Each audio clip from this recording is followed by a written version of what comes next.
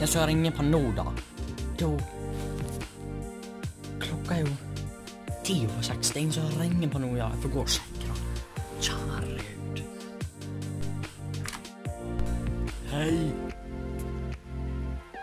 Se hvor fint vær det er. Ja, det ser jeg, men hva er det du vil ha? Nei, jeg ville hjelpe Jeg lurer på om du ville komme ut og selge aviser med meg? Selge aviser? Ja, Jeg tror ikke om jeg hjelper meg, med, siden jeg selger min egen avis på søndag. Ja, men kan ikke du bli med ut en tur, da? Nei, det tror ikke jeg gidder i dag. Ja, men du må bli med, ellers så dreper jeg. Du dreper meg? Mhm, ja, det skal jeg tro på. Da. Ha det. Jaha, det kom deg vekk. Tulling. Og nå går jeg bare inn i den. Jeg gidder ikke å være så herregud. Dreper jeg deg? Nå er jeg lei. Du skal dø.